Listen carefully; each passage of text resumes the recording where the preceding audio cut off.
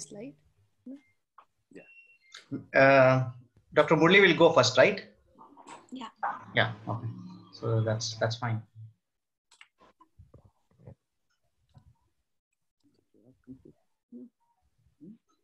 Should I take your?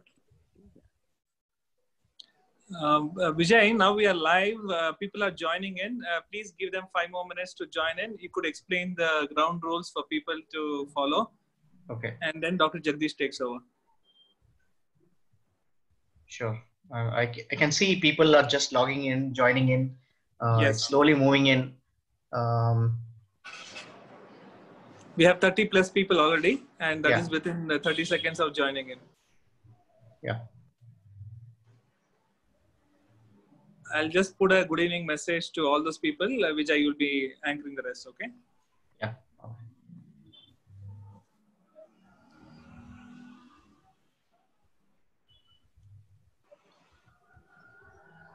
Uh, we give two more minutes for people to join in. Uh, this is for participants. Uh, this is a message for participants. Dr. Murali Mohan, MD also from um, uh, India?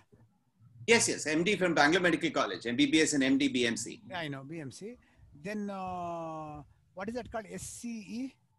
Specialty Certificate Exam in Respiratory Or Medicine. respiratory medicine? So after the MRCP, it uh, qualifies you for uh, being a pulmonologist. And It's, FRCP is awarded. Dr. Jagdish, we are live. Yeah. There are 30 participants, Mahesh. Yeah. Okay. This is uh, for the information of the participants. Uh, can I request you all uh, to you know use the Q and A section uh, to ask questions? Uh, and uh, there's a, uh chat box, uh, and you know the uh, where you can exchange messages if there are any. I'm just waiting for people to join. Some more just just joined.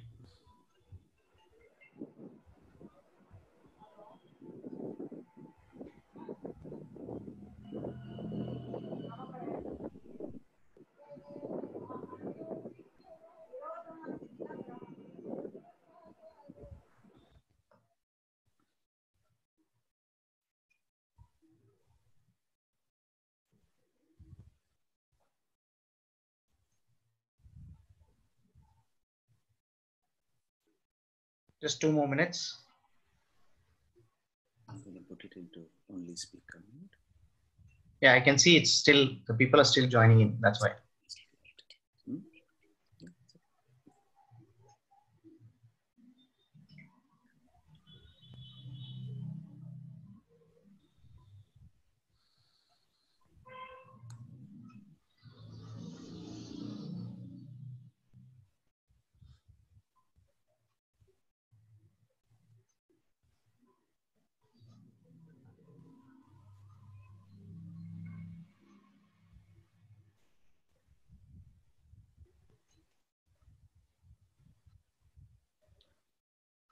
Yeah, I think we can start. Hello. Yeah. Hello, everybody. Uh, for those of you who don't know me, my name is Vijay Harbishata. I'm one of the psychiatrists in Bangalore and coordinator for today's event. And uh, as you know, today we have an exciting uh, uh, uh, event. And uh, this topic is related to nicotine and its abuse and the, the health impact. Um, without wasting, much time, uh, I'm going to hand over to uh, Dr. Jagdish, who will uh, introduce the uh, the our guests. And uh, uh, just to give you ground rules, the, the, the, if you go at the bottom, there are a few things there. One is Q and A Q and A section where you can put your questions, and in the chat box you can send messages. But the questions will be picked up from Q and A section. So uh, over to Dr. Jagdish. Good evening. Welcome to today's uh, Telearogya program. Telearogya is a free app for all the doctors and patients. Most of the commercial apps available for telemedicine have some nominal fee.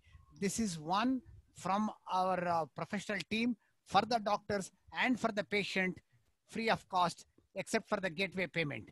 Now, with this telearogya introduction, uh, when the lockdown started up to the phase three of lockdown, two things were banned.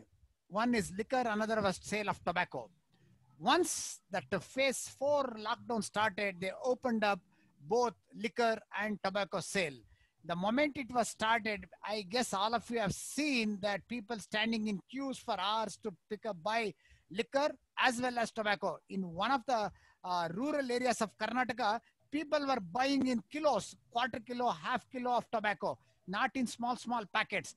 So what happens to these people during this COVID time? So to a very relevant topic today we have is health consequences of tobacco use, more so during COVID time. Today we have two distinguished speakers because tobacco use consequences fall in two domains. One, a physician and a respiratory medicine specialist. Another is psychiatrist. How, what are the consequences of use and how one should come out of it. So to have this discussion, an interesting discussion, we have two wonderful speakers. Dr. Murali Mohan did his MBBS from Bangalore Medical College, did his MD medicine also from Bangalore Medical College, comes from a prodigy of doctors who are well known in Karnataka. Later on, he went on to UK to pursue his MRCP. After that, he specialized in sleep, uh, this uh, respiratory medicine, and he also has FRCP. After coming back to India, he continued to work as a respiratory medicine specialist, as well as his area of interest is sleep. Most of our sleep patients who come to psychiatrists without any underlying psychological disorder regularly refer to Dr. Murali Mohan, and 80 to 90% of them turned out to be severe obstructive sleep apnea syndrome. He's one of the best sleep disorder specialists available in Bangalore. And he continues to be, he also head, he was heading the uh, internal medicine department at Narayana Hrudayalaya uh, Mazumdar Shaw Medical Center. Now he continues to be the head of uh, respiratory medicine. He's quite actively associated with Indian Psychiatric Society Karnataka chapter, an excellent quiz master, a very talented and a, a very good speaker. Today we have Dr. Murli Mohan with us. Dr. Murli Mohan, thanks for coming and addressing our psychiatrists. I welcome you on behalf of Telearogya. Thank you, Dr. Jagdish. It's a pleasure to be here. Second, I guess my another speaker, Dr. Pratima Murthy, doesn't require any introduction. Still, it's my duty. She did her MBBS again from Bangalore Medical College. Later on, she did the diploma DPM from NIMHANS, one of the best outgoing student. She did MD medicine also. Later on, she joined as a faculty at uh, NIMHANS. Her area of interest is addiction. She has done a lot of work related to women and alcohol, especially related to law and medicine, the pioneer work related to prison and psychiatry. Probably those are some of the things. She has also got FRCP. She has published many national and international uh, publications. And today I have the privilege of introducing Dr. Pratima Murthy because I happen to be her classmate. Thank and so far, you have listened to many speakers on one platform or one topic. Today we have two special people. A couple are speaking on these two topics, Dr. Murli Mohan and Dr. Pratima. So I welcome Dr. Pratima to Telearogya's program on health consequences of tobacco use, more so during COVID time. Thank you. It's over to Dr. Murli now.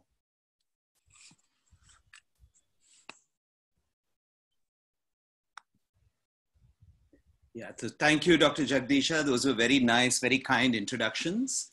Uh, so today we're going to discuss one of the most important factors that impacts health uh, in all its aspects. And that is what this mannequin at the left of the screen shows you, that virtually every part of the body, both the inside and the outside, is badly impacted by tobacco use. It's also a pretty grotesque, horrifying mannequin, but those are the effects of tobacco. So let's see what these are.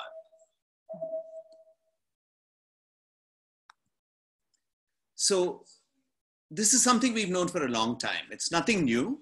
In 1604, King James I of England, earlier of Scotland, said the use of tobacco is a custom loathsome to the eye, hateful to the nose, harmful to the brain, dangerous to the lungs, and the black stinking fume thereof, nearest resembling the hor- horrible Stygian smoke of the pit that is bottomless. So more than 400 years ago, this was known. We know that tobacco use is the world's leading cause of death. I'll just jump straight to the last line in that paragraph. It will kill 250 million children and adolescents alive today, a third of whom live in developing countries like ours. So this surely dwarfs the COVID pandemic that we are going through. And I think it deservedly is called the tobacco pandemic. It's important to remember that no amount of tobacco use is safe and no type of tobacco use is safe, including the variant that we have now, vaping or e-cigarette use. And we must remember that a long-term tobacco user has a greater than 50% chance of dying early from disease caused by tobacco. What's in a cigarette? This is well known to all of us, but we use this picture often to tell patients why it is important to stop. What they are using consists of things like candle wax and paint and vinegar and sewer gas, what's in batteries and industrial solvents and so on. So a whole host of things which individually are poisonous in small amounts, but together can be even more poisonous to the human being using tobacco and this is not just in cigarettes, it's in any form of tobacco. So, why is tobacco so dangerous? It's a complex mixture of over 4,000 chemical substances. It has two phases a gaseous phase and a particulate phase. And these have pro inflammatory effects, they have cytotoxic effects, and they have carcinogenic effects. So, there are multiple problems with tobacco smoke. One of the most important contents of tobacco is nicotine. And nicotine is what causes the addiction, which makes people addicted to tobacco. Among other things, what it causes is it increases the sympathetic activity that leads to faster heartbeat. It leads to coronary vasospasm. And in fact, you can see when uh, a person takes nicotine while a coronary angiogram is done, you can actually see spasm of the coronary vessels. It leads to lipolysis and fatty acid release, which promotes the synthesis of VLDL and oxidized LDL, which lead to uh, atherosclerosis. One of the other major components of tobacco is tobacco smoke is carbon monoxide. And you can actually use carbon monoxide levels and carboxyhemoglobin levels to tell us who is smoking and what is their level of exposure to tobacco smoke. But what does carbon monoxide do? It leads to endothelial cell dysfunction. And we know blood vessels run through the entire body, supply every single organ, tissue, and cell in the body uh, with blood. And these blood vessels are going to be dysfunctional. These organs are therefore going to suffer dysfunction if the endothelial cells dysfunction because the oxygen has to get across these. And the endothelial cells actually secrete a substance which keeps these vessels open. So, smoker has decreased blood supply to all tissues and especially so the peripheries of the body. They also tend to have more lung damage, heart damage, and in fact, damage to every organ because of this endothelial cell dysfunction. Tobacco also has carcinogenic effects. Tobacco not only causes more mutations, which lead to cancers, but also there's a decreased capacity to repair damage that occurs. And this is due to a variety of compounds that these days you must have heard about nitrosamines and their presence recently they said in ranitidine and the FDA banned it. These are present in high quantities in cigarettes and strangely cigarettes don't get banned. On the respiratory system, it has multiple effects. And because one who smokes takes it directly into the lungs, the brunt of disease of tobacco related problems is borne by the respiratory system. There's direct injury to the ciliated cells. The cells, the cilia look very abnormal. They don't beat properly. There's paralysis of the cilia, and this leads to problems in clearance of particles that settle on the airway, to the gaseous substances that settles on the airway, to the tar that settles in the lungs, so they cannot be cleared. And this leads to increased irritation of the airways, leading to more mucus. This is often sticky mucus and makes the person cough, the so-called smoker's cough. But later, this leads to damage of the lungs, bronchitis, and emphysema. There's also obviously bacteria that come in all the time because we are inhaling liters and liters of air every minute. And this carries bacteria with it. And we, if we cannot clear these bacteria, there's an increased risk of lower respiratory tract infections. And that's the difference between normal tracheal mucosa on top And the topmost layer you see to the top of the screen is a normal looking mucosa, and you're seeing healthy looking cilia. And below that, there's not much of inflammatory cells. Below, you have tracheal mucosa that's been exposed to cigarette smoke. This is a rat model. And you can see that there is amalgamation of the uh, cilia. They're all fused together and clearly cannot beat. And there's a variety of other changes, including thickening of the basement membrane, not allowing uh, mucus to be cleared and leading to greater damage to all layers of the respiratory tract. There's inhibition of other airway defenses. There's reduced effectiveness of the immune system, and there's oxidative stress, which leads to damage. It also makes the type 4 collagen in the airway very sticky and weaker. So this leads to macrophages adhering and damaging the airway. And this inflammation therefore leads to emphysema. So there's a variety of respiratory diseases, starting from acute respiratory infections and going on to interstitial lung disease and lung cancer. The most common thing that we always talk about in Bangalore is asthma. And asthma is common in those who are exposed to environmental tobacco smoke. So even non smokers get a higher risk of asthma. And these are also a greater problem in children of women who have smoked during pregnancy. So there's no direct airway exposure, but exposure crossing the placenta can lead to asthma later in children. And those who continue to smoke have greater airway irritability and a greater decline in the forced expiratory volume in the first second, the lung volumes decline. Smoking worsens asthma control. I'm not going to take you through this very busy slide except to say that they had more sputum production, more cough and wheeze, more nocturnal symptoms, and more shortness of breath compared to non smokers or even ex smokers. And this is important. If you quit smoking, your asthma control gets better. And this is also because drugs that we use for asthma are deactivated partially or completely by cigarette smoke. COPD is directly linked to cigarette smoking and worldwide is the major factor for COPD. In India, environmental, especially household pollution, is also a very important factor. But the one thing which is easily preventable is quitting cigarette smoking. And you can see in this slide that as a person's smoking duration increases, the risk of developing COPD increases. And this increases even more among women, which is a worrying feature when we see increasing women smoking. And this is something I alluded to earlier with asthma, but COPD can also be initiated in utero. When the mother smokes, there's impairment of lung function of her children. And just 10 cigarettes per day of maternal smoking increases the prevalence of COPD by almost 70% in the offspring. But it's not just the mother smoking, the grandmother smoking. If she has, when she is pregnant, a female fetus, that female fetus's eggs, the ova, get affected by the grandmother's cigarette smoke. And in later life, this affects the grandchild's lungs. They have smaller lungs and a greater risk of developing COPD in the future. So it affects not just that generation, but the next two generations. We know the diffuse parenchymal lung disease or interstitial lung disease.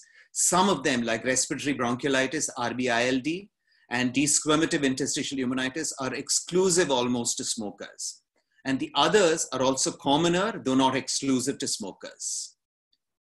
The simple community acquired pneumonia is much more common in smokers, and they have worse outcomes when they smoke. And there are many other non neoplastic lung diseases, varying from the very simple common cold going all the way up to DVT and pulmonary embolism, which can be fatal. And in all these, the risk comes down when a person quits tobacco use. Of course, we know lung cancer is well recognized as a major risk factor for uh, tobacco use is a major risk factor for lung cancer, but it's also common in many other disease, uh, cancers, head and neck being the most common. And this is nothing new. I'll call your attention to this paper from 1928 where they spoke about smokers' excess death rate.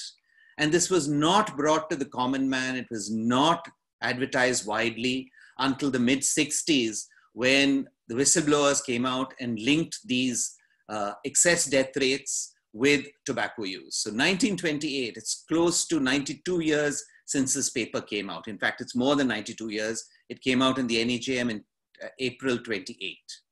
So that's bronchial carcinoma. And the risk of lung cancer among smokers is five to tenfold more uh, in developed countries. And smoking is responsible for more than 80% of all lung cancers. And the same is true of Indian uh, patients. Roughly two thirds of all our patients with lung cancers have been smokers, either cigarettes or BDs. Whereas among female patients, about 54 female, female patients in one study, only about 5% were smokers. This is because there's a low prevalence of tobacco smoking use among women, though this is not true of smokeless tobacco use, and I'm sure Pratima will talk about this later. So we always must think of a genetic predisposition among women, and we know that there are genes like the EGFR mutation, which increase the risk of uh, women developing uh, lung cancer, typically the adenocarcinoma. And this may be due to the effects of either environmental tobacco smoke or other pollutants, both outdoor and indoor air pollutants. And this risk varies from group to group. It can be as high as 15% in somebody who smoked for 100 pack years, and as little as 0.8% in somebody who quit nine years uh, ago.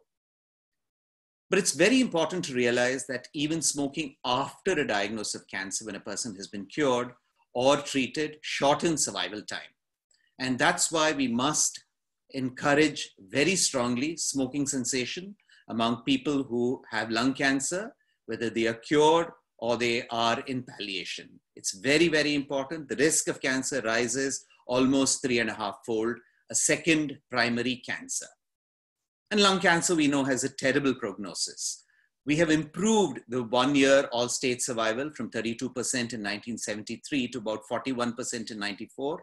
And it's a little higher than that now, close to, we have a better than 11 uh, month uh, survival for most patients. But the five year survival has remained virtually unchanged at 14%.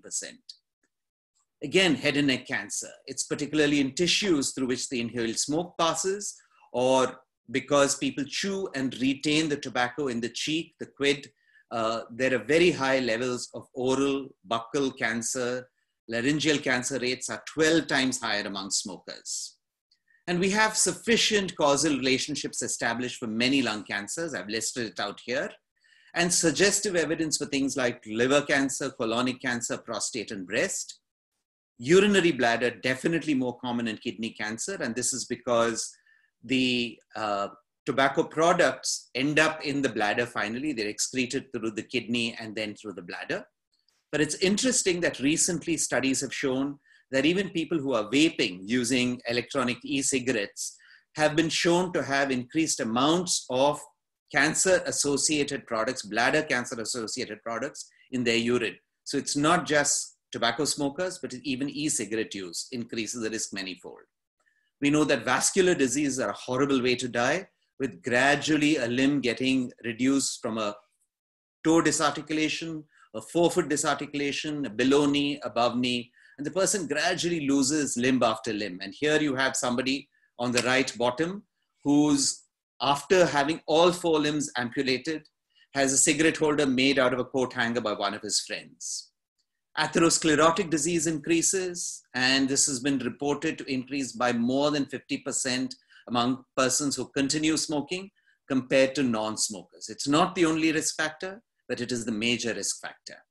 And smoking cessation, as after a cancer diagnosis, is equally or more important after a coronary intervention. People who continue to smoke after angioplasty had a more than threefold increase, a three quarter increase risk of death compared to non-smokers. A stroke risk is even higher, two and a half to three and a half times plus among people who smoke more than 20 cigarettes a day. And this is true of multiple forms of cerebrovascular accident. So we have a variety of cardiovascular diseases from atherosclerosis of all organs going down to peripheral vascular disease. The increased risk of diabetes is well known, as also the risks of combined diabetes and smoking. Women are a particular risk group. They have special risks. They have increases in some types of cancer risks. They have a greater risk of osteoporosis. And as I already mentioned, during pregnancy, the baby suffers with lower birth weight, intrauterine growth retardation, increased risk of sudden infant death syndrome, and decreased lung function of the offspring. But it's not just smokers, it's not just tobacco chewers, even people working with tobacco develop a fairly wide list of problems called green tobacco sickness. It's been reported in between 1 and 10% of US tobacco smokers. And we have similar data in Indian, in India with girls making BDs in, in Tamil Nadu, having a variety of problems, including poor reproductive outcomes among mothers who are engaged in BD work. And this is true of all forms of tobacco. Smokeless tobacco is just as bad as smoking tobacco. BDs are, if anything, worse than cigarettes. And you can see, just look at the extreme right column where BDs are compared with cigarettes. And the age adjusted relative risk of BD smoking is 1.78 compared to B, uh, cigarettes, which are 1.39. Uh, data from PC Gupta and group. And the death rates are much higher among those who use smoking tobacco. Uh, reproductive effects of smoking, fertility, pregnancy, the newborn baby are all affected. And there are various oral effects. We won't go into that, but those who chew tobacco have oral submucous fibrosis, apart from a variety of problems, and most dangerously of all, oral cancers. There are also other effects which we won't go into poorer wound healing, worse outcomes after surgery, every single organ and worryingly, which people, young men don't realize, erectile dysfunction. And of course, there are economic consequences, there are environmental consequences, global warming, and a whole variety of indirect health effects that we have not even begun speaking of in this talk. So, as I mentioned earlier, the whole body can affect, get affected. But one of the things that I'm often asked is I smoke only a few cigarettes a day, doctor. Am I at risk? And I like to show them this slide very often, which looks at the increase in risk, this on the top left is all cancers by cigarette consumption. And you can see that the risk starts to rise even with just one to four cigarettes. Look at the y axis, that's in 100 cigarettes. So that's actually a huge risk in uh, cancers by with just one to four cigarettes a day. Lung cancer, even higher. And the relative risk for lung cancer compared with non smokers is almost fivefold with just one to five cigarettes a day. And this is true of ischemic heart disease, again, huge increases at one to four cigarettes a day. And all cause mortality is again hugely increased at one to four cigarettes a day. So, no level of cigarette smoking is risk free. Every cigarette carries an additional risk. And of course, the effects of smoking cessation are well known. I'll just summarize by saying these benefits start within 20 minutes and continue over the next 24 hours and continue to improve over the next 10 years. Every day, things are getting better and better. A few slides on tobacco and COVID 19, because that's really the worry these days. And anything I say, I must bring like cigarette packets with a statutory warning. We are seeing everyday new papers. Most of these findings are associative or speculative. Most of them have come from articles that are inadequately peer reviewed Many of the reported findings will need to be revisited as evidence accumulates. And it's very important. We saw just recently two papers from the NEJM and Lancet were withdrawn because their findings have been disputed, the data has been disputed. But it's well established that all forms of tobacco are injurious to health, and this does not need to carry a statutory warning. So we know that handling of cigarettes and handling of tobacco brings the hands into contact with the face and can transfer the virus to the body. So smoking and other tobacco use can increase your chances of getting COVID-19 as also sharing tobacco products. And one of the confusions for us in smokers when a person comes with increased smoking, is this a smoker's cough? Is it an exacerbation of their COPD? Or is it COVID-19? To the extreme right, you'll see that most studies, this is one study which showed that severe cases and those needing mechanical ventilation or death are commoner in current smokers than those who were never smokers. And negative outcomes, those who progress negatively have worse outcomes, again, commoner in smokers than in non smokers. Specifically, we have increased risk and severity of pulmonary infections because already mentioned pulmonary immune function and damage to the upper airways and the intrathoracic airway suffers. There's excessive platelet dependent thrombin generation, so thrombotic risk is increased. And there's increased carboxyhemoglobin, so the oxygen carrying capacity of RBCs is, reduced. Why do I mention these? Because there's a worse inflammatory response in SARS CoV 2 in COVID infection. This is already high. It's triggered off by the body's responses to COVID 19. And smoking increases the amount of angiotensin converting enzyme receptors. So there's a greater risk of the virus latching onto these receptors and causing increased viral loads within the lung. It also increases the number of inflammatory responses among smokers. So we have greater viral load, we have a greater inflammatory response. One of the markers that we use is serum ferritin to tell us about inflammation. And already smokers have a significant increase in serum ferritin levels. And hyperferritinemia is one of the markers for a severe outcome of COVID 19. Also, tissues are already starved of oxygen. This is thought to be one of the conditions uh, or one of the factors that increases the problem called happy hypoxia. People are hypoxic, they don't realize hypo- how hypoxic they are, and often are dead within 10 minutes of their hypoxia being realized. And smokers already have decreased oxygen carrying capacity because of carboxyhemoglobin. So here we have a cytokine storm because of inflammation. We have an increased endothelial activation. We have pathological coagulation. And this storm of condition gives rise to the perfect storm that is COVID 19. Even earlier, one of the things that we use to recognize COVID 19 is the presence of anosmia and ageusia.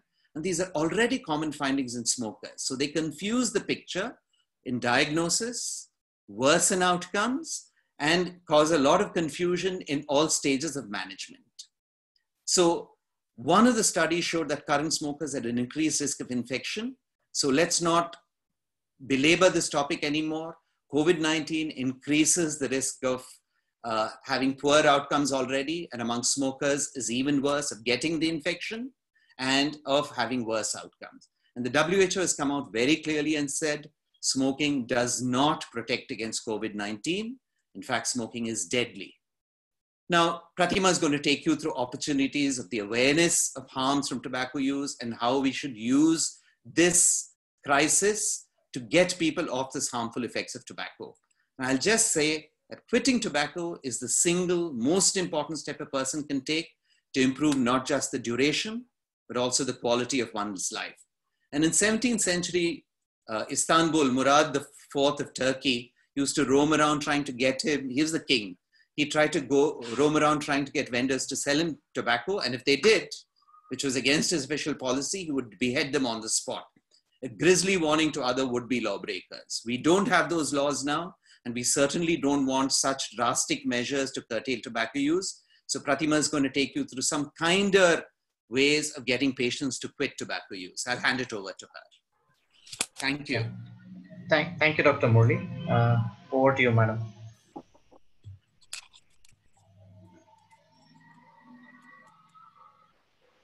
Thank you very much. I'm just starting to uh, share my slides. Okay, so uh, we've just uh, on the on the 31st of May we commemorated World No Tobacco Day, and this year it's about industry manipulation of youth in terms of uh, you know tobacco use. So I think it's very important to understand that tobacco is possibly the single most preventable cause of death in the world today. And it's the only legal product that kills half the people who use it as intended. And we estimate in a few years' time that the number of deaths from tobacco will be more than malaria, maternal conditions, and injuries combined.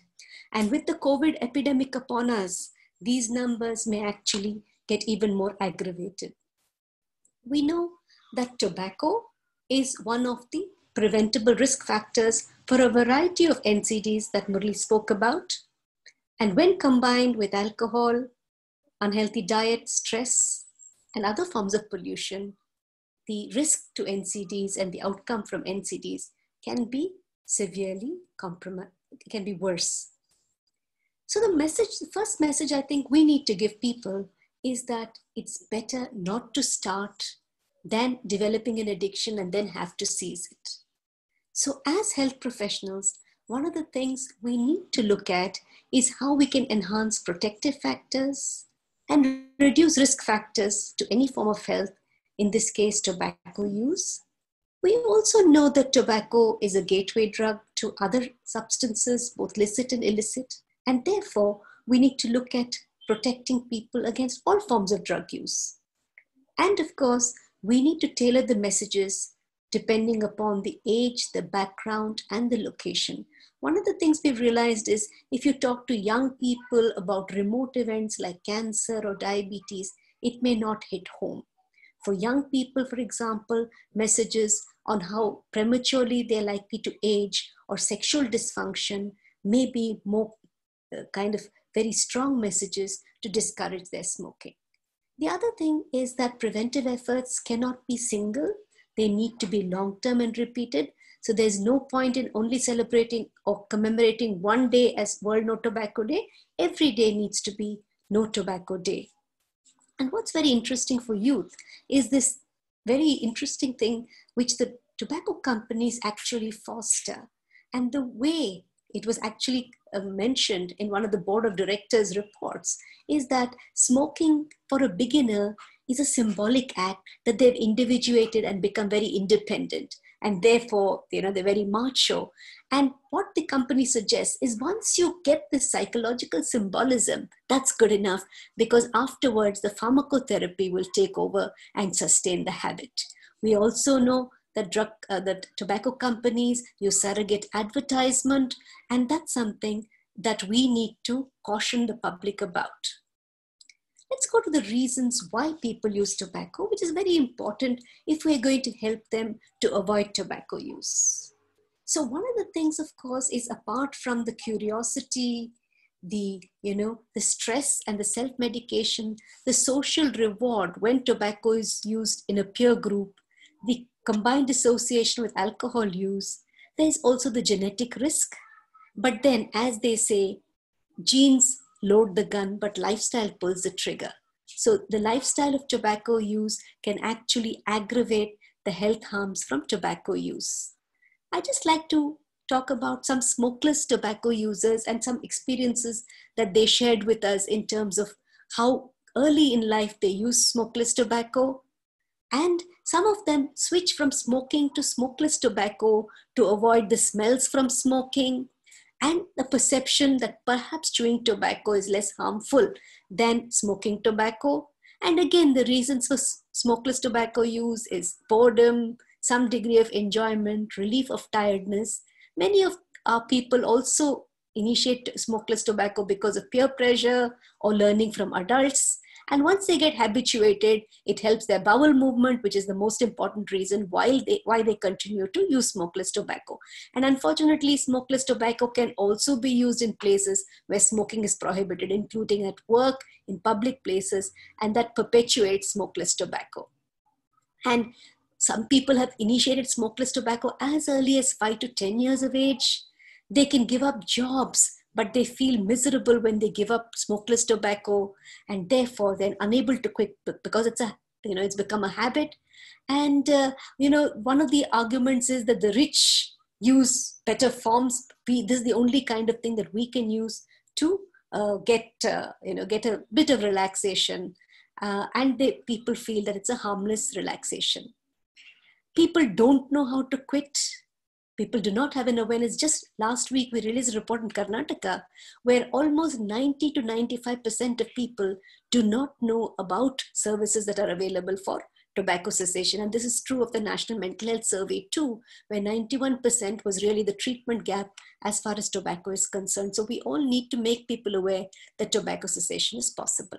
But why is it so difficult? It's because all forms of tobacco contain nicotine, which is one of the most uh, strong psychoactive substances. And that's why quitting tobacco is so difficult. It's not possible to just tell people to stop tobacco. That's what we used to do about 10 or 15 years ago. But now we need to be much more supportive to people in their quit attempt, especially when a person is addicted to nicotine. The MPOWER approach of the World Health Organization talks about the various policies to address tobacco uh, use and encourage cessation. And one of the things is to offer help to quit tobacco. to warn about the dangers of tobacco. And these two, the P and the O, lie within the healthcare sector. So those of us who are in the healthcare sector need to tell people about the dangers of tobacco and more importantly, offer them help to quit tobacco. Another second message that I'd like to give is that addiction is a brain disease. We know that nicotine acts in the same reward centers in the brain where alcohol, where heroin, where cocaine, all of them act. We recognize now that addiction is not just a failure of will or a lack of strength of character, but because of the changes in neurochemical uh, circulation in the brain. And just like diabetes or hypertension, tobacco addiction is also a chronic relapsing condition. People need to be educated, supported, and followed up if they are to be helped to give up tobacco. Worldwide, we know that the five A's approach is the possibly the simplest and most pragmatic approach to help people to quit tobacco, asking about tobacco use in every health encounter. We still don't do it routinely. Assessing the extent of dependence as well as the readiness to quit advising people very strongly and unequivocally about the importance of stopping tobacco use and linking it to their present health condition. More importantly, assisting them in a quit attempt. And if one is not able to help them, arranging for additional help to get them to quit. So, what do we ask people in terms of tobacco use? We ask about the type of tobacco that they use, the quantity and frequency, the duration, the last use of tobacco. We assess the severity of addiction by using what is called the Fagerstrom's test or any other test of nicotine dependence. We assess clinically for craving and tolerance and for withdrawal symptoms. We also assess their readiness to quit. Are they ready? Are they not sure? And what attempts have they made in the past to quit tobacco? This is the Fagerstrom's questionnaire, which really asks how soon do they use tobacco as soon as they get up. And that's one of the strongest indicators of withdrawal because all night they have not had nicotine in their blood. And therefore the soon as, as soon as they get up they need to use their first uh, they have their first smoke. Then of course there is also a difficulty to refrain even when they are in places where tobacco use is forbidden which is a cigarette or bidi they would find most difficult to give up. The free the quantity of use and whether they smoke more frequently in the first part of the day after waking up than the rest of the day, and even when they're ill, whether they smoke. A score of above a seven or more indicates very severe dependence. A score of four or more indicates moderate dependence. Similar uh, evaluations can be done for smokeless tobacco. The next message is that people need to be advised and assisted using different methods. The best moment of intervention is when the person seeks a health consultation because at that time the person is willing to listen to the fact that tobacco use is harmful and giving up tobacco is a very very important decision that they need to make. Self-help tips are very very important. How to handle craving the 4ds that we talk about what to do with restless fingers what to do with a restless mouth. Then of course in the psychosocial interventions we after we educate the patient we help them to set a quit date not too far away in the next week or two. We get support from the family from friends uh, you know other forms like the you know there are uh, there are support uh, avenues on the internet. Uh, we prepare the person to say, uh, before the quit date to get rid of all the tobacco products to decide what they're going to do if they have a craving and then on the day of the quit date we actually get them to stop all tobacco products. In addition to the psychosocial interventions, there are pharmacological interventions. The most important thing is, of course, follow up and relapse prevention. Why is that important? Mark Twain probably said it the best. He said, I have quit a thousand times before, indicating that quitting is possible, but people relapse very often.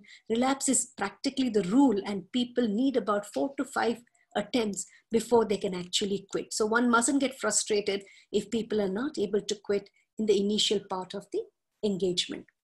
One of the things I find very useful is actually using a balance sheet approach, where I first talk to the patient about the advantages of tobacco use. Patients are quite puzzled. Why is a doctor asking me about the advantages? And then it's good to tell them, look, you would not be using it if it did not have any advantages for you.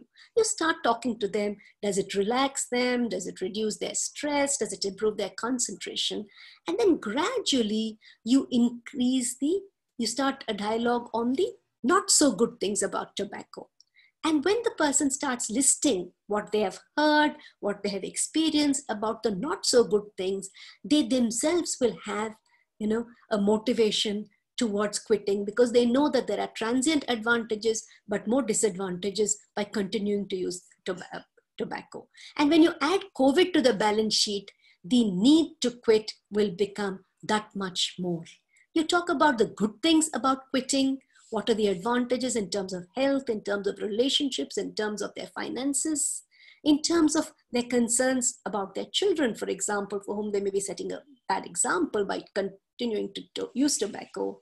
And the fears about giving up tobacco. Very often it's worries about craving, it's losing friends, it's worries about how they will deal with stress. And if you suggest alternate ways of dealing with some of these problems, it helps them to quit tobacco the advice needs to be personalized, specific, most importantly, non judgmental. I think all of us know that a non judgmental approach produces the best results among our patients, expressing empathy that it is difficult to give up an addiction, encourage quitting attempts, personalizing the change, linking the person's uh, underlying health problems and the need to quit, providing brief counseling in every meeting with the patient, educating about edu- uh, addiction, we always provide self-help material to patients so that they themselves kind of read it and internalize it, offer medications as needed, and follow up uh, at least for about six months to a year. For patients who are ready to quit, congratulate them on a decision to quit, fix a quit date, it's good to involve one of the family members or friends in a decision. If the especially the spouse is also a tobacco user sometimes it's good to get them both to support each other in the quit attempt. Provide the help as a health professional. Uh, of course earlier we used to talk about choosing a method either to gradually reduce or to abruptly quit. We know that a gradual reduction is actually very very difficult. Very few people are able to do that. So a cold turkey method or a method where you can supplemented with pharmacotherapy is possibly better than you know choosing to gradually quit uh, and providing specific medications or referring to a tobacco cessation clinic or to a professional who is specialized in quitting is more important. Now, it's also important that the patient understands nicotine withdrawal and craving, the fact that it will uh, be onset in a few hours' time, it'll be quite high during the three to four days after stopping tobacco and will gradually reduce over the next one to three weeks. We know that hunger and craving can last for six months or more, but the most important thing is that craving comes like waves and actually goes away. So if the person learns to anticipate craving, handle craving, then the person will understand that the craving is, doesn't stay forever and the person feels much better once the cravings have subsided. I mentioned the four Ds earlier. The most important thing is you delay the craving, distract or do something else like exercising, drinking sips of water, slow deep breaths, and discussing the urges with or uh, somebody in the family who helps them or with the health professional can help the person to deal effectively with the various uh, with the craving Preventing relapse is very, very important. And for this, your engagement with the patient in terms of dealing with high risk situations, particularly, for example, waking up in the morning, being around pe- people who are smoking, uh, is very important. And how to handle craving. In fact, there are lots of uh, resources that are available which teach people simple methods of having something like lychee along in the mouth you know using a rubber band to kind of not keeping the hands from being becoming very restless uh, the uh, four Ds that I mentioned, taking one day at a time, reminding themselves of the reasons for quitting can all be very effective counseling strategies to help people. Of course, uh, cognitive behavior therapy, mindfulness meditation, these are all forms that may be helpful to patients. One thing is very clear that the more in depth the counseling is, the greater are the chances for quitting. Finally, we know that managing stress is very important Therefore, teaching people to manage uh, stress in terms of understanding the sources of their stress, learning how to manage it, making sure they have enough distractions. Diet and sleep are very, very important, as is exercise. And time management is also very critical. Spirituality is very helpful to some people. And the fact that they need to try even if they fall, even if they slip, not to convert a lapse into a relapse is very, very important for tobacco cessation. We know that there are underlying mood problems, anxiety problems, which also need to be treated if you want the person to successfully quit. Because addiction is a chronic relapsing condition, it's very important to keep in touch with the patients. And now we know that you know, telephones, SMS, email, other forms of telecounseling are equally important. So reminding, sending them reminder SMSs to keep in touch may also be very effective ways of keeping in touch with patients. There are lots of materials that are available to patients, you know, and these can be used to educate them better. I'll end up in the last five minutes talking about some of the experiences that we've had. In India, we've been running the tobacco cessation uh, clinics right from the early 2000s. And in one of our, uh, we had clinics all around the country, and we had, uh, you know, almost 34,000 patients registered in the first five years of the clinic when we started. And when we evaluated the outcomes for patients with simple counseling, the quit rates uh, in the patients we saw was about 31%. And nearly 50% of patients had reduced their intake by 50% or more even assuming that patients lost to follow-up had not improved, in the early days of the tobacco cessation clinics, we had 14% who self-reported quitting and 22% who had reduced tobacco by 50% or more. This was very, very encouraging to us. And since then, there has been a lot of expansion of tobacco cessation facilities. One other important thing that we learned is that if you kept people in follow-up, the number of people who quit at three months, six months, and nine months actually increased over time. So this tells us that if you want to prevent relapse, a continuum of care is very, very important. You retain patients in follow-up, they are likely to give up tobacco. The WHO says that in addition to counseling, use toll-free quit lines as well as pharmacotherapy to help patients I'll first talk about the quitline and what is called the M cessation. The M cessation program has now been running for the last five or six years. If you do not, in addition to what you do for your patients, if you want them to have additional resources, ask them to give a missed call to 011 2290 1701.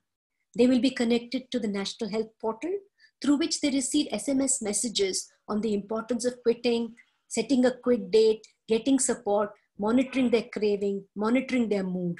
There is a lot of information also on the NHP in terms of how to sleep better, how to deal with anxiety, how to improve mood, how to manage craving. And a lot of patients, uh, people who have called in to the M cessation have benefited from the uh, this service. I'll, I'll talk about the data about this a little at the end of my presentation. We've also initiated the National Tobacco Quitline Services at NIMHANS. It's about one and a half years old. And this is a toll free number 1 800 112356. In the north of India, it runs from the VP Chest Institute. For southern India, from NIMHANS. In Mumbai, from the Tata Memorial Hospital. And in the eastern part, from Guwahati. And the quit lines work from 8 a.m. to 8 p.m. on all days except Mondays.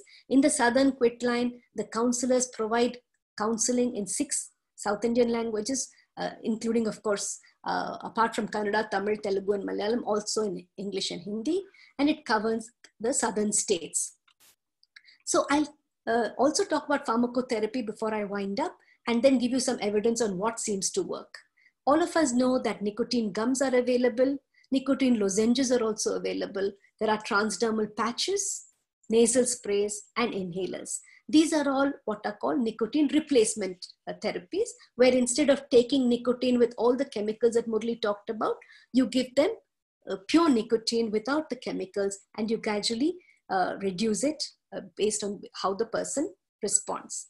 So one thing is that when you look at the way the plasma nicotine changes, you'll see the blue line which tells you how there are rapid ups and downs in the nicotine levels with cigarettes what happens with the patches in the gums is that they provide more stable uh, blood levels of nicotine so that the person does not experience craving. In terms of the gum, pastille, or the lozenge, you get them in 2 mg and 4 mg uh, strengths. For less than 25 cigarettes, the 2 mg is recommended. For greater than 25, the 4 mg is recommended. Typically a chew and park method where the person slowly chews the gum till they get a peppery taste. They park it between the gum and the inner cheek until that peppery taste comes. Whenever the person gets a craving, they can use it. Once the peppery taste stops, the person uh, chew, packs the gum into a bit of newspaper and then discards it. So these are quite safe and they're effective in controlling the withdrawal symptoms. Uh, the nicotine patch is available as 7, 14, and 21 milligram patches. For people using more than 10 cigarettes a day, the 21 milligram patch is recommended. Usually the nicotine levels that are obtained are about half that of smoking. The important thing is to apply the patch on a non-hairy skin, to have the patch on only during the day, take it off at night, and to keep changing the location of the patch so that there is no skin irritation. Because it produces sleep disturbances, it's not recommended at night. And in addition to the patch, the person may also use gum for any breakthrough craving. So that was the nicotine replacement therapy. The second strategy is to use non-NRT medications. And two, the two most popular medications that are used are bupropion and varenicline. Bupropion, as we all know, is an antidepressant, but independent of its depressant, antidepressant properties, it is effective uh, in tobacco cessation. So it started usually as 150 mg daily, and after about four days, it's increased to 150 mg twice a day with an eight hour gap in between. The person does not immediately quit, unlike in NRT. Here, the person sets a quit date about 10 to 14 days after starting bupropion. And then the person can abruptly stop the tobacco and not experience any withdrawal symptoms. Bupropion is usually continued for about three months, but can be continued up to six months or even longer. Usually, within the first two months, there is no improvement, it's not likely to help. Dry mouth, insomnia, and seizures are important side effects, and one has to be very cautious in people with diabetes and seizures. So, bupropion acts by its anti uh, its dopamine and norepinephrine reuptake inhibition. It decreases the withdrawal and it decreases the craving and reinforcement. The other drug is varenicline, which is a partial agonist at the alpha 4 beta 2 nicotine receptors, and it prevents the withdrawal by its agonistic activity and decreases the reinforcing effects by antagonizing nicotine present at high doses. Varenicline comes as an initial starter pack and a maintenance pack. It's usually started at 0.5 milligram per day increased to 0.5 milligram BD, and then the maintenance dose is 1 milligram uh, twice a day. As with bupropion, the person usually sets a quit date after about a week to 10 days of starting varenicline and then can suddenly uh, stop the tobacco.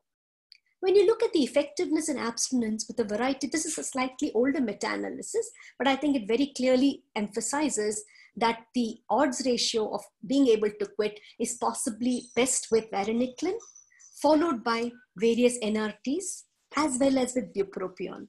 So these drugs increase the chance of, double the chance of quitting or triple the chance of quitting. Uh, more recently, Hatsukami, this, this is also quite, uh, you know, it's about 2008, um, also looked at the odds ratio of uh, comparing the various pharmacotherapies and you'll see here again that uh, in addition to uh, varenicline, bupropion, and NRT, nortriptyline, which is a cheaper uh, antidepressant, also has a good odds ratio of quitting, as does clonidine. So I think, but the most uh, well-tested uh, treatments are bupropion, NRT, and varenicline. This is a much more recent forest uh, plot just published a couple of years ago, which, uh, which did a systematic review and a meta-analysis. And I think it's very, very important that I run you through this particular thing. When you look at only pharm- bupropion versus pharmacotherapy, the odds ratio of quitting are here. The more you move to the right, the greater are the odds ratio of quitting. And you'll see that NRT also pushes it to the right, indicating thing. counseling, especially intensive counseling, is also increases the odds ratio of quitting. And when you combine bupropion with counseling, you'll see that this possibly has one of the best odds ratio of quitting. The most important thing, therefore, is that psychosocial counseling along with pharmacotherapy produces the best results in terms of quitting. I mentioned to you about M cessation. We actually looked at more than 10 to 12,000 people in the initial days of the M cessation, and we uh, it was recorded that 34% of patients who had, who had been contacted after they had enrolled in the M cessation reported making a quit attempt, and 19% of them had successfully quit. We are now looking at a program which looks at tobacco cessation in patients with severe mental illness with combined behavioral and pharmacological support intervention. I'll tell you why this is so important. This is a study done by Simon Gilbody et al., which actually suggests that in people with severe mental illness, when you combine counseling and pharmacotherapy, the chances of quitting are significantly much more, both at six months, at 12 months, than compared to treatment as usual, which is usually just a recommendation for pharmacotherapy. So this is a, a study that one of our residents undertook where he looked at patients with severe mental illness, uh, with schizophrenia or mood disorder, and found that tobacco use in any form was present in all, about a third of these patients, both in smoking as well as in smokeless forms. The disturbing fact was that nearly 9, 59% of these patients had not been asked for tobacco use according to their self-report and less than 11% of them had been provided assistance in, in, in spite of having a tobacco cessation facility. And this, I think, is something that's an issue all over the country. So we definitely need to offer patients support for tobacco cessation. If you can't offer it yourself, arrange for help particularly patients who have comorbidity. Murli presented so many comorbidities that can occur with tobacco use. It's important to do that and supplement your uh, interventions with mCessation or tobacco quit line or refer them to a specialized tobacco cessation facility. I want to summarize by saying that tobacco use in any form is dangerous to health. Obviously, it's better to encourage people not to start. The earlier the person quits, the better. And for those dependents, support and assistance is very, very important. COVID presents a huge opportunity for encouraging patients to quit and for reducing the treatment gap, which, as I mentioned, is 90%. And the public needs to be aware of the opportunities and support for quitting. I'll stop here. Thank you very much. We'll be happy to take questions. Uh, thank you. Thank you, Pratima madam. Um, I think we have already started having questions there. And um, it was a very comprehensive uh, presentation by both.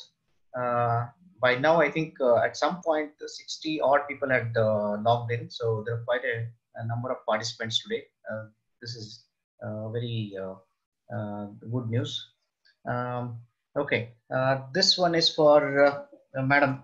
Madam, I just had a couple of questions here. Uh, what are the main causes of relapse in the study that you had undertaken, this, this uh, big survey that you had uh, mentioned? Okay.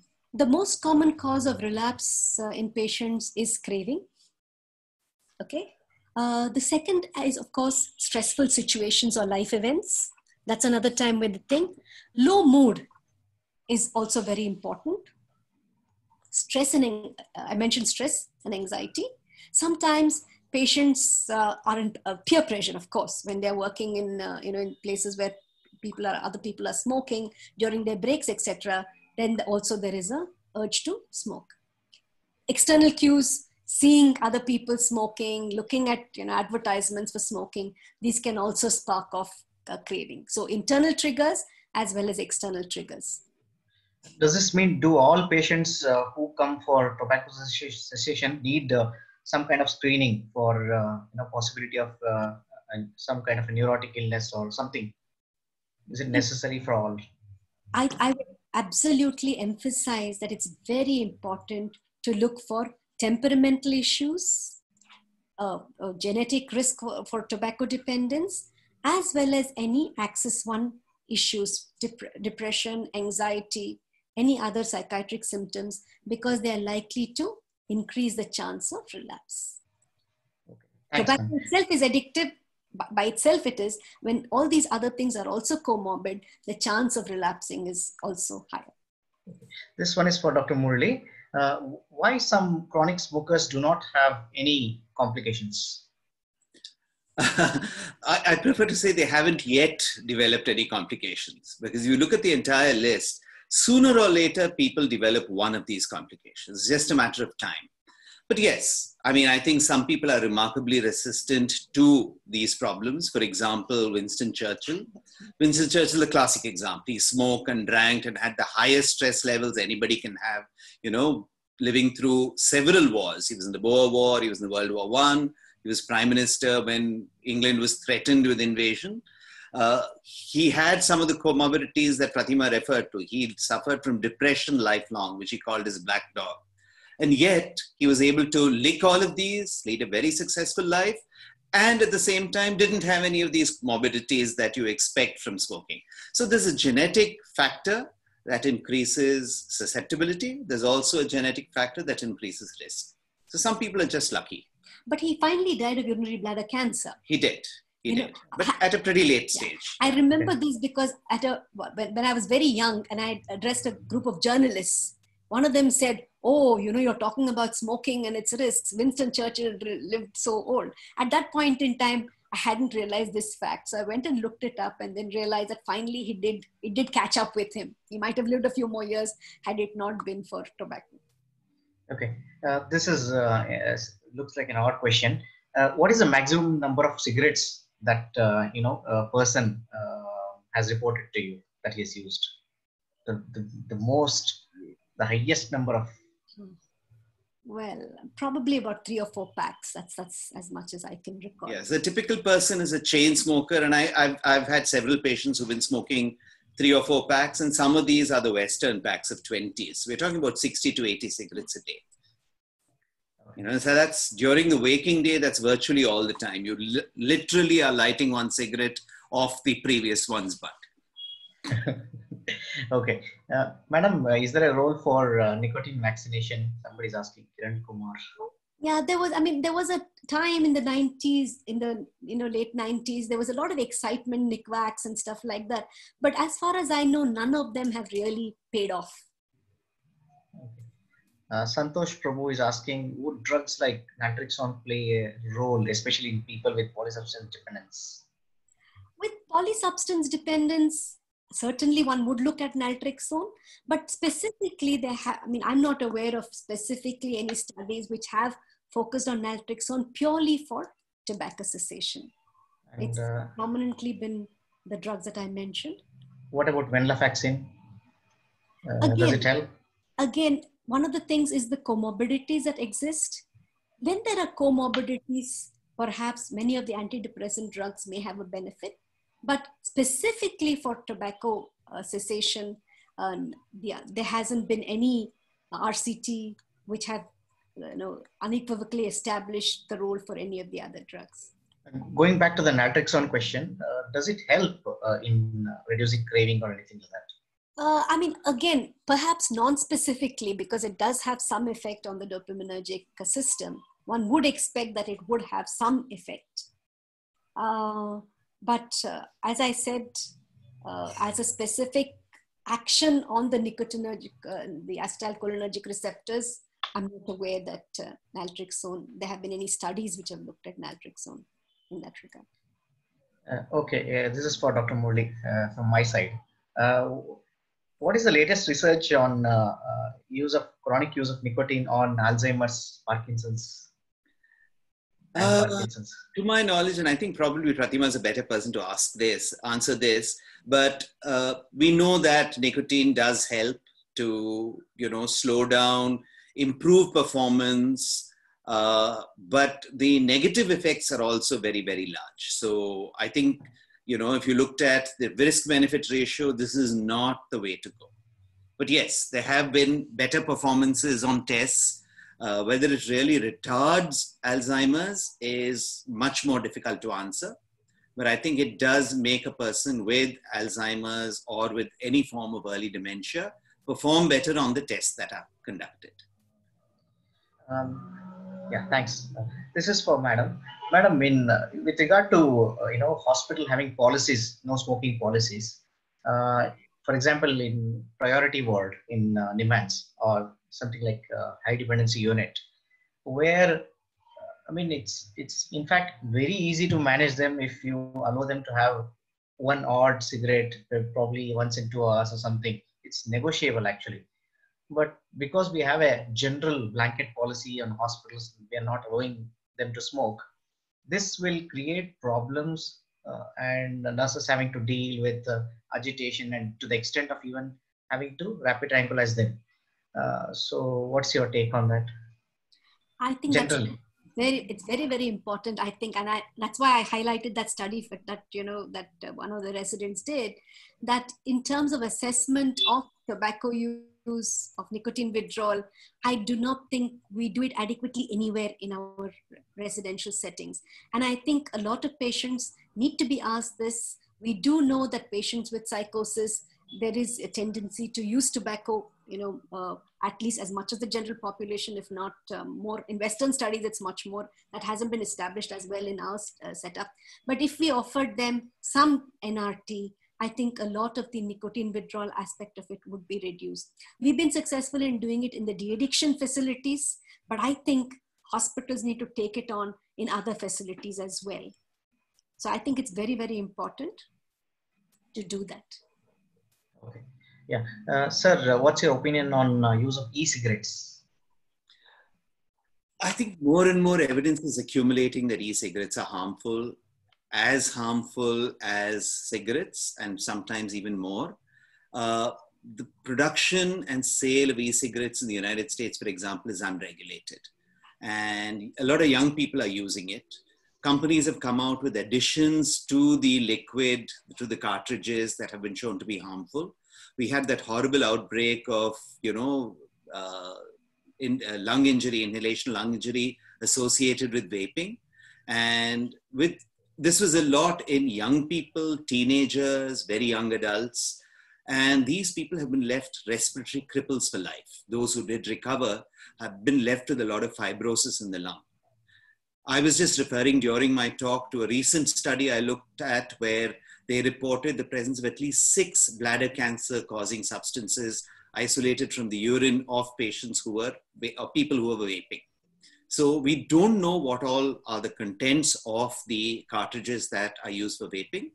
Uh, they were used, and I'm aware of some people who have used it as a way to, uh, you know, like a nicotine replacement therapy. But I think there must be a very definite plan to use them. And I think there are safer nicotine replacement therapies. We don't really need to go to e-cigarettes. And I think it's a very good decision on the part of uh, the government to ban their sale.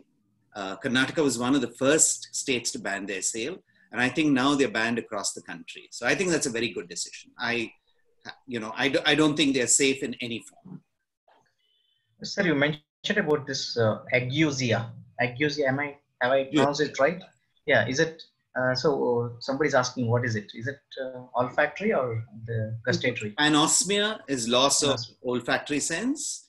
Uh, yeah. So you don't smell very clearly, and that's been shown to be one of the important features of uh, uh, coronavirus infection, an early symptom. Ageusia or ageusia is part of is loss of taste sensation, and we must remember that the two are closely linked. The smell, taste, sensations are closely linked and a lot of our you know appreciation of food comes from the aroma or smell uh, so when a person's sense of smell goes down the taste also goes down. And incidentally that's one of the reasons why when a person is trying to quit they put on weight. Their sense of smell improves consequently their sense of taste improves. The direct appetite suppressing or anorexic action of nicotine uh, comes down so their appetite improves so they tend to eat more naturally. And that's something that, you know, a lot of people are very worried about. I'll put on weight uh, if I quit smoking and this helps me to stay thin. One of the reasons why models are supposed to smoke and smoke quite heavily. Uh, but this is something we need to take into account. I think the risk uh, of putting on weight is much less than the risk of continuing tobacco use. Okay. Madam, once I was woken up, I got really upset. Uh, and uh, this was uh, later, I found out that it was because of varenicline causing psychosis in a patient? Uh, how often do you see? Okay. As we are aware that, you know, earlier when varenicline was initially introduced, there was a black box warning that it can cause agitation, it can cause an exacerbation of psychosis, it can cause suicidal ideations. Subsequently, the black box warning has been uh, removed, and uh, varenicline has been used uh, in patients with severe mental illness as well, but obviously with these cautions. Uh, and therefore, I mean, you know, uh, I, I know that, for example, the Scimitar trials in the UK have also offered varenicline for people with SMI. But I think, as with all drugs, I mean, whether it's bupropion and seizures, bupropion and you know, hyperglycemia, varenicline and agitation, I think counseling, and even with NRT, I think there are a lot of patients who do develop side effects very often because they don't know how to use it. For example, they swallow the saliva and get a lot of gastritis. So one of the things to tell patients is really how to do the you know chew and park method. Similarly, to warn patients that if they do develop any kind of agitation or uh, you know problems with varenicline, to report it immediately, and that's very important. I think with any of the drugs that we use in addiction, I think it's very important to tell patients about the side effects and the need to get back in touch with us. So I think that's only one patient who woke you up, right? yeah. yeah. Um, madam, uh, uh, some patients complain they get addicted with nicotine gums itself. What to do? So, I mean, I, I remember, I remember a senior, uh, uh you know, Inspector General of Police. Uh, you or take the example of Barack Obama I think he continues to use NRT. Now, the point is that uh, NRT, it's a, it's a harm reduction approach. So even using NRT longer term is possibly relative to smoking is possibly safer.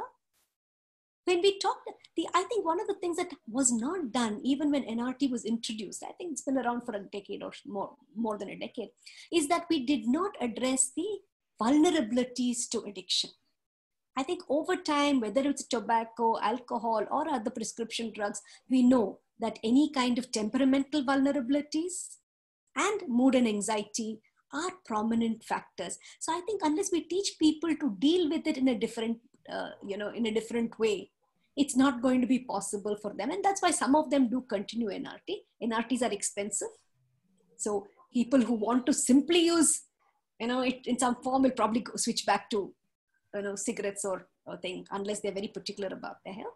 But relatively, nicotine replacement therapy is safer than going back to. Um, how about uh, nicotine gums before exams? For what? for exam performance. I mean, for people who have not used uh, tobacco or nicotine before, it can actually produce a lot of unpleasant symptoms, you know, lightheadedness, you know b- burning in the mouth etc so whether it's nicotine before exams or tremors of the hand you know so whether it's nicotine before exams or stimulants to sit up all night they're extremely risky business. I, I wouldn't do that. I would rather study and appear for the exam and advise people to do so as well. But stress i think understanding dealing with stress with cognitions anxious cognitions these are very important and that's why it becomes very important that we address, we help people, we teach them safe ways of dealing with anxiety and with mood changes. Okay, there's another question from Rajesh Jain. He's asking medicinal cannabis in smoking cessation. You heard of? Uh, I, I mean, I don't know. I don't. I don't think that's a topic of of the day. There are so many medical uses of cannabis that have been spoken about, and cannabis is the new nicotine. I think one must understand that.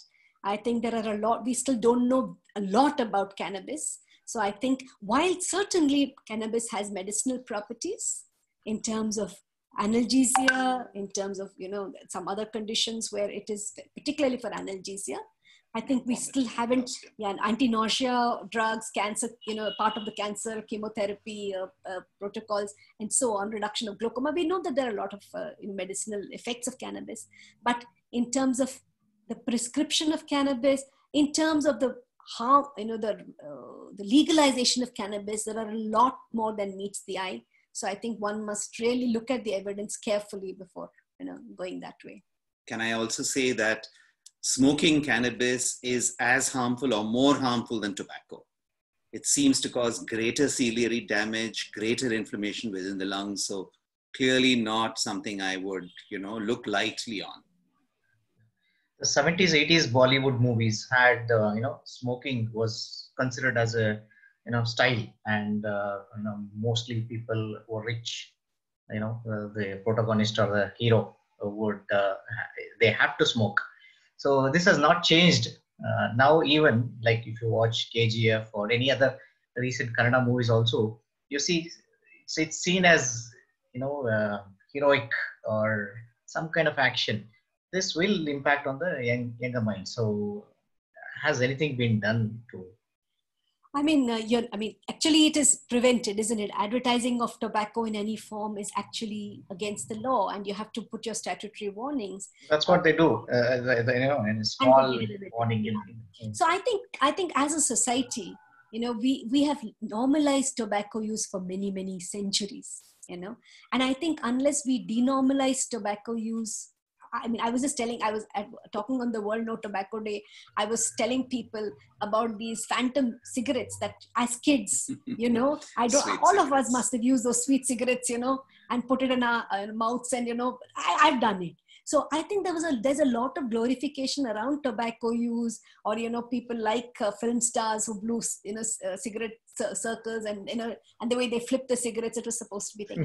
the same people have actually gone on record on their 60th birthday and said please do give up tobacco use you know it is not bring but i think it is much more powerful when younger people people who are you know who are in key influences in society now actually talk about denormalizing tobacco. Rahul Dravid, for example, is a spokesperson now. And I think our badminton player, what's her name now? The um, uh, Sindhu. Sindhu. Sindhu. Sindhu is now a spokesperson. So I think having young people, successful people, you know, talk about not using tobacco and being role models in society is very, very important to denormalize tobacco use in society. Right. I think we are going over time. Uh, Madam, uh, last final comments from you and then followed by uh, Sir. So yeah, I think I think for too long we have somewhere failed as health professionals in terms of you know routinely asking for tobacco use in our patients. It should be part of our essential evaluation of patients. Like we ask for hypertension, like we record BP and pulse, we should record tobacco use status. We should tell people about the harms of tobacco, encourage them to quit, but more importantly, be empathetic and offer them quit services. And as I mentioned, follow up, particularly in cases of dependent patients, is very, very important. We also have to go beyond our clinics to tell people in society to denormalize tobacco use and to reduce the treatment gap, which is extremely high. I just also thought that in addition to the, to the naltrexone question, uh, in acute interventions, there have there have been a couple of papers which show that, but in terms of longer term, you know, reductions, there has been no evidence. So I'd like all of us to be ambassadors to promote tobacco cessation and to prevent people from using tobacco. Final comments from you, sir. Yeah, so I think Pratima used an important phrase earlier. She said it's the only legalized form of addiction that harms every single organ in the body. That's something that I think we should keep in mind. Uh, as Pratima said, you know, we don't often ask for uh, the history of tobacco use and somebody who's got flagrant tobacco associated disease. So I remember an article several years ago in the BMJ which suggested that it should be made a vital sign, and just like your record pulse rate and BP, tobacco use history should be taken. Uh, one of our foremost pulmonologists had the honesty to publish a paper in one of our national conferences where, you know, out of 100%, 100 persons who were admitted to their ICU on a ventilator for acute exacerbations of COPD, uh, smoking history was taken only in 3% of them, which is a tragedy. And none of them were offered tobacco cessation advice. That's the stage. I mean, I think psychiatrists do very much better. Uh, other professionals do really badly when it comes to asking for a tobacco history and advising cessation. Remembering that the single piece of advice from the treating physician, the GP, has had the greatest success, a very brief advice, less than a minute, has had the greatest success in getting people to quit. And finally, Vijay, I just wanted to add that physicians can get addicted to tobacco themselves. And one of the things that has been happening is that physicians are coming forward more and more to get help to quit. Physicians have to be role models to other to, to the other people. So, you know, staying away from tobacco and getting help if they themselves are addicted is also very important. Okay. I think we had, uh, I, I, think you all agree with me. We had an excellent session. Uh, it was very informative. And for uh, madam's uh, students, I think, uh, and colleagues, I think it was a booster uh, for most of them. And uh, I think with this, we, we wind up uh, today's session. Thank you very much, sir. Uh, thank you very much, madam. Uh, thank you, Mr. Ganeshan, for uh, supporting uh, on, uh, behalf of Microlabs. And thanks, Mahesh and uh, Dr. Jagdish as well. Thank you, ev- one and every, you know, all of these participants, because I think because of you, we are able to, uh, you know, conduct these programs. Otherwise, uh, without you, we cannot do it. So thank you very much for attending. It was, I think, 60, 65 people that attended today. Thank you very much. I hope uh, uh, it was informative to you all. Thank you very much. Have a have a good day. Shubhratri. Good night. Thank you, madam. Thank you, sir. Thank Thank you for being a part of it. I think you made every teetotaler proud today, like me so very happy. Thank you, madam. It was very very informative and interesting. Thanks a lot. Thank you. Thank you. Good night. Good night.